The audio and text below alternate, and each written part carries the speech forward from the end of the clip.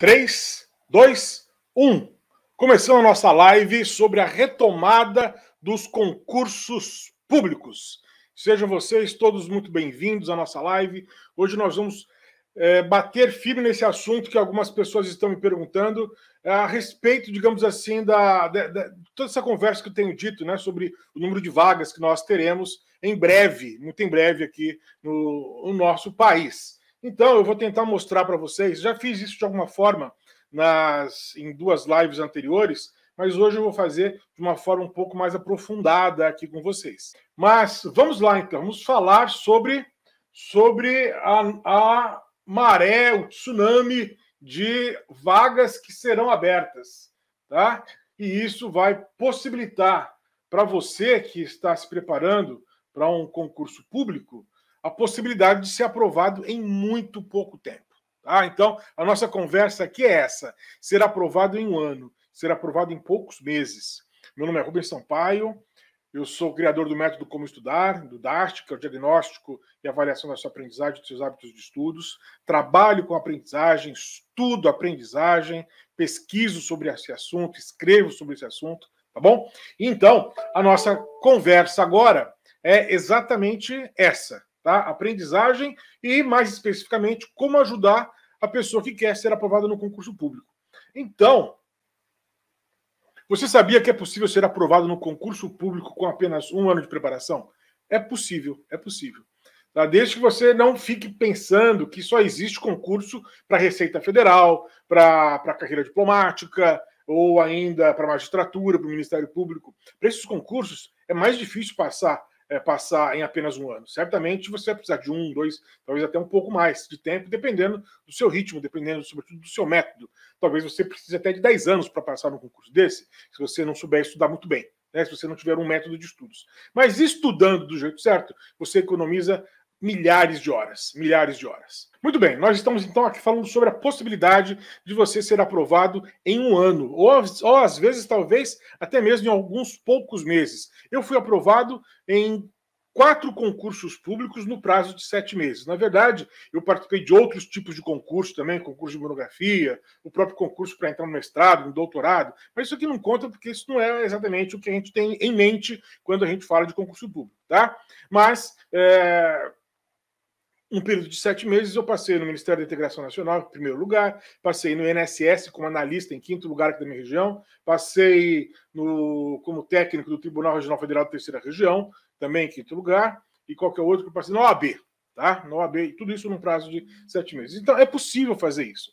E diante das condições que estão para se apresentar para nós aqui dentro de algum tempo, você vai, você vai perceber que vai ser muito mais fácil ainda muito, muito mais fácil. Então, olha só, vamos seguir aqui na nossa apresentação e olha lá.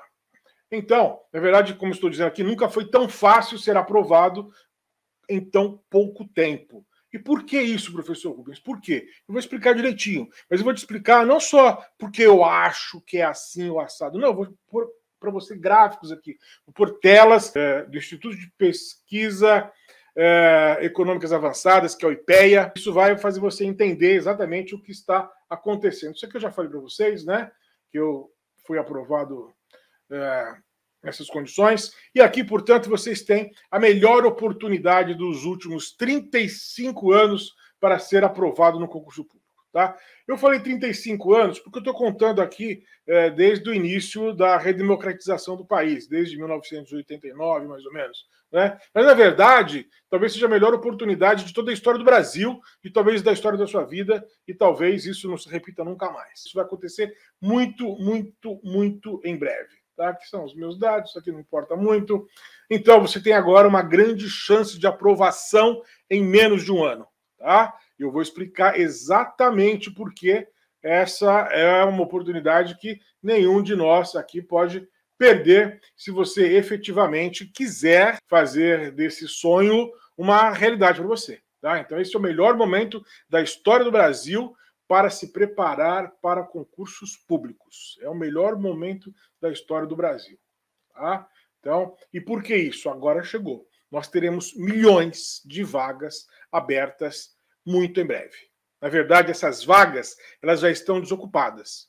Tá? Na grande maioria delas, elas já estão desocupadas. Então, em breve, nós precisamos, muito em breve, com muita urgência, nós precisamos reocupar essas vagas. Tá? Porque se nós não reocuparmos essas vagas, o Brasil vai entrar numa crise administrativa, depois de uma crise sanitária, como essa da pandemia, nós vamos entrar numa crise administrativa assim sem precedentes, tá? Então, eu quero aqui explicar o que você precisa fazer para garantir a sua vaga no concurso público dos seus sonhos com muita rapidez. Tá? Aqui não tem truque, não tem mágica, não tem simpatia. Aqui tem análise de dados, tá? Análise de dados e estratégias, táticas e técnicas de aprendizagem. Eu costumo falar, não existe isso de aprendizagem acelerada, aprendizagem rápida. Às vezes eu até falo, ah, você pode aprender mais rapidamente, mas não é isso. Eu não tenho, por exemplo, como acelerar minha digestão. Percebe? Não tenho como fazer isso. Da mesma forma que você não tem como acelerar a sua apreensão, tá? A sua aprendizagem. O que você pode fazer é parar de estudar errado. É isso, tá? É, da mesma forma que eu poderia falar assim, o que você tem que fazer é parar de comer porcaria. Tá? Então, é, se você estuda do jeito certo, aí sim você vai aprender de uma forma mais veloz. Tá? Mas não é porque tem um truque, não é porque tenha uma, uma mágica, não é porque eu, eu saiba algum segredo esotérico que pode acelerar a sua aprendizagem. Não, não tem nada disso.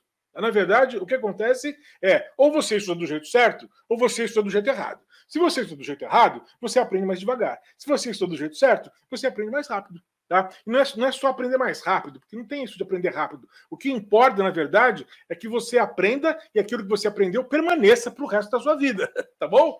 Então, é, muitas vezes você pode até aprender alguma coisa rápido, mas esquece rápido. Então não adianta muita coisa, a não ser que a prova seja é, no dia seguinte, a não ser que você queira só aprender o número do telefone né, de alguém para depois esquecer. Você aprende rápido o número do telefone de alguém, mas esquece rápido também, a não ser que você anote. Tá? Então é isso. Então, deixa eu só ver o um negócio aqui. Sejam todos vocês muito bem-vindos. Vitor, Robéria, Saion, sejam bem-vindos. Pois bem, vamos lá. Seguindo aqui com a nossa conversa.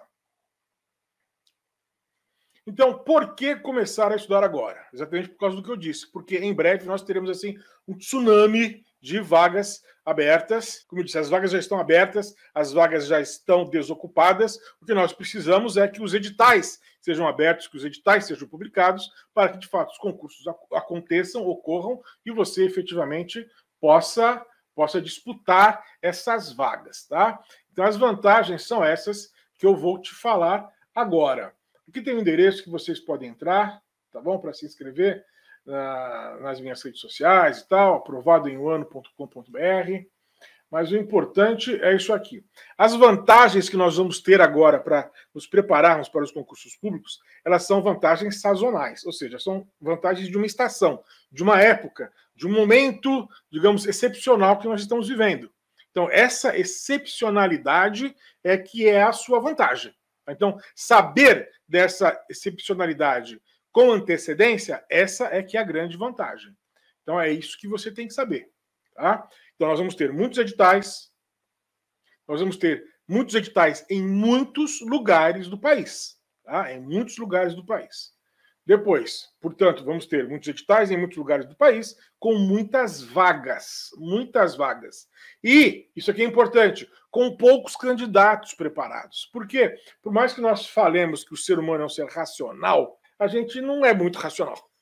tá? Então, por mais que eu diga, né? Ou que outras pessoas também digam, olha, se prepare, porque vai ter muita vaga, papá, papá, papá, as pessoas vão cometer o um erro grosseiro, o pior erro de todos, que é o erro de começar a estudar quando? Quando? Depois que o edital é publicado. E aí, esse tempo é muito curto. O tempo do edital para a prova é muito curto para você se preparar. Às vezes é um mês, às vezes são dois meses. Esse tempo é curto. Ah, professor, mas tem muita vaga, tem, tem é, pouco candidato, a nota de corte vai ser baixa. Concordo com o seu raciocínio, mas às vezes, mas às vezes você tem que atingir um, uma pontuação mínima. E se você não atingir a pontuação mínima, e se ninguém atingir a a pontuação mínima, as vagas continuam abertas. Tá bom? Então a gente só tem que largar a mão de ser preguiçoso e começar a estudar para valer tá? para aproveitar a oportunidade. Esse é o gesto de maior inteligência que a gente pode ter agora. Então, olha lá, poucos candidatos disputando a mesma vaga. Um tempo atrás, eu li exatamente, não sei aonde, esse é o problema, então eu não tenho como fundamentar isso. mas que nós tínhamos no Brasil cerca de 500 mil ou 600 mil concursandos, ou concurseiros, como, como muitos dizem por aí. Então, considerando que nós vamos ter um número de vagas superior à casa de um milhão, se a gente ainda continuar com esse número de 500 mil, 600 mil concursantes no Brasil, a gente tem quase duas vagas para cada candidato. Tá? Mas veja só, que eu estou sendo assim, assim, prudente ao falar que eu não sei se esse número de 500 mil, 600 mil candidatos é o número real. Não sei, não, não lembro onde eu li isso, não lembro, então eu não tenho como mostrar aqui para vocês isso. As outras coisas eu tenho como mostrar. Isso aqui eu não tenho, tá? Mas, é, é um, de qualquer forma, é um número absurdo, né? Duas vagas para cada candidato, tá? Então, é, isso, vai facilitar a vida de muita gente, tá? Isso vai facilitar a vida de muita gente. Porque nós vamos ter notas de corte muito baixas. E isso vai fazer muita diferença. Muita diferença.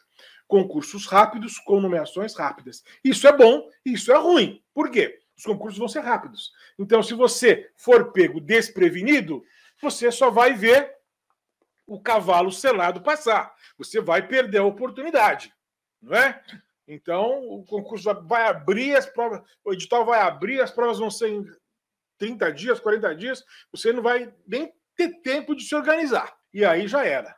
Esse é o problema. Se você não se preparar com antecipação, vai ser esse o problema. A oportunidade vai passar na, na sua frente e você não vai ter como agarrá-la. Tá? E aí, isso é bom. Agora, isso é bom. Os aprovados vão ser empossados rapidamente. Tá? Editais publicados, provas feitas rapidamente, né? nomeação feita rapidamente e a posse feita rapidamente e o início do exercício também muito rapidamente.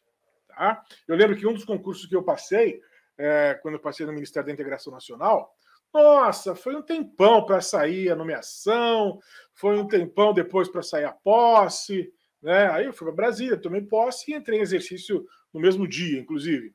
Mas, mas é, demorou muito, demorou muito para ser chamado. Tá? No Tribunal Regional Federal da Terceira Região também demorou muito para ser chamado. Teve algum problema com aquele concurso, não lembro exatamente o que foi. Teve um problema com a prova de datilografia, a gente teve que fazer a prova de datilografia, não, digitação, a gente teve que fazer aquela prova de novo, não lembro exatamente por quê, mas foi um concurso que demorou muito para que eu tomasse posse depois, depois da aprovação. Não é? É, então, isso daqui não vai acontecer. Nós teremos a, a, nós teremos a posse sendo realizada de, muito, de forma muito rápida. Por quê? Porque o, o, os departamentos, né, as, as repartições públicas, elas estão elas estão esvaziadas. Não vou falar que elas, estão, que elas estão vazias, mas dois ou três servidores numa repartição qualquer faz muita diferença, porque os outros colegas vão ter que fazer o serviço dos dois ou três ou quatro servidores que por um motivo ou outro, que eu vou falar aqui quais foram esses motivos, saíram. Saíram do, do, do, do exercício do, do seu cargo. Então, eu vou explicar para vocês o que aconteceu. Então, isso vai transformar a vida de muita gente. Tá? Aproveitar essa oportunidade vai ser muito bom para muita gente. Então, aqui nessa tela, então nós temos muitos editais, muitos lugares do país com muitos concursos públicos, muitas vagas cargos trampolins com vagas sendo abertas. Isso aqui eu não expliquei, vou explicar já. Poucos candidatos preparados, poucos candidatos disputando a mesma vaga, notas de corte baixas, concursos rápidos com nomeações rápidas e aprovados e empossados rapidamente. Então, isso do, dos cargos trampolins, eu não falei, mas isso aqui é muito interessante também. Tem muita gente que age de forma muito inteligente, muito estratégica no setor público, quando faz o seguinte: bom, eu quero um cargo de nível superior, digamos assim, eu quero ser juiz, quero ser ministério, quero ser procurador da República, procurador do trabalho, quero trabalhar, quero trabalhar como cartorário. Então, são concursos que a gente sabe que são mais difíceis, tem um volume muito grande de disciplinas, né? E aí isso exige da gente muitas vezes mais de um ano, talvez dois, às vezes até um pouco mais anos de estudo, dependendo do seu método de estudo e da forma como você estuda. Tá? Então, o que acontece? Muitas pessoas falam, falam o quê? Eu vou passar num concurso intermediário, eu vou passar primeiro para técnico, ou então vou passar primeiro para analista ou para oficial de justiça, e depois, depois, com a vida já é, tranquilizada, né, com a estabilidade financeira já conquistada, eu vou, vou estudar vou estudar com mais afinco e com mais serenidade, afinal de contas, já, já matei o primeiro leão. Então agora eu vou estudar com mais tranquilidade para passar no próximo concurso. Um concurso mais difícil, um concurso mais elaborado. E às vezes até mesmo a própria experiência te ajuda na prova oral, né, ou na prova prática que você vai ter para fazer lá a sua prova escrita, né, a sua peça lá no, no, no concurso para o Ministério Público, a sua sentença no concurso para a magistratura, tá? a sua ação civil pública no MP. Então, muitos desses servidores que entraram com, a, com muita clareza a respeito de, de, estar numa etapa intermediária, aproveitou, esse pessoal aproveitou a pandemia, porque muitos deles ficaram em casa, quase a totalidade né, ficou em casa. Então, esses caras que não precisavam mais se deslocar, não precisavam mais pegar ônibus, gastar tempo com hora de almoço, esses caras ficaram em casa trabalhando online e estudando. Estudando. Então, tem muitos cargos intermediários que muito em breve serão desocupados, porque quem estava ocupando esses cargos vai passar para o nível que eles, que eles almejavam efetivamente. E com isso nós teremos, digamos, mais um, mais um lugar aqui vazio para ser preenchido. Tá? E é interessante, isso aqui deve estar lá mais na frente, inclusive, teve uma pesquisa feita por um juiz federal, um tempo atrás, de que 98% dos juízes federais entraram na magistratura federal os tribunais regionais federais, é, sendo, sendo, tendo sido antes servidor de uma escala, digamos, inferior, hierarquicamente inferior. Então, o cara era oficial de justiça, o cara era técnico, o cara era analista, o cara era analista de execução de mandados, ou então o cara era, era procurador da Fazenda Nacional, ou então ele era AGU, enfim, podia ser qualquer outra coisa, tá? Mas ele primeiro passou num cargo intermediário como esse, e depois, depois ele alçou um voo maior né, para se colocar na posição de magistrado federal. Então, isso é uma pesquisa feita por um juiz federal, tem um livro dele contando a história de aprovação dele e exatamente esses dados da pesquisa que ele fez com os próprios colegas.